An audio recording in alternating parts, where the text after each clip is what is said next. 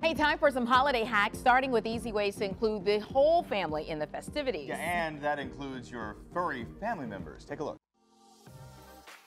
Throughout the year, our pets are our most loyal companions, so we can't forget to include them in our holiday plans. The trend in this in this country, actually all over the world, is to include the pets in those celebrations. Animal Planet's Dan Schachner is no stranger to furry friends as the Puppy Bowl referee. He believes the holidays are a great time to celebrate our bond with our pets and perhaps even consider a few unique pet presents. You can start with matching, you know, sets right now of apparel. I'm wearing a scarf that says nice and Tully's wearing the naughty one one, but they are, a, it is a coordinated matching set that you can get at Petco. The gift options are endless from DIY projects with treats and gifts to playing dress up. You've got your classics. This is a Hanukkah throw toy over here. This is a personalized paw print, which we love as an ornament. Pup Box is a great resource. It sends a box to your house. Uh, this is the holiday one, of course, but it, you know, they can send it all year long, once a month, and it's got toys, treats for your dog, and training tips that are tailored to your dog's life stage. If you want to gift yourself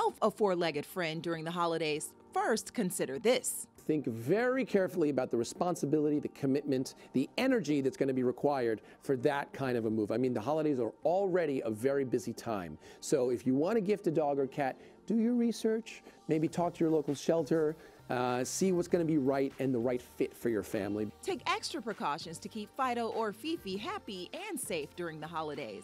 Try to keep them on the routine.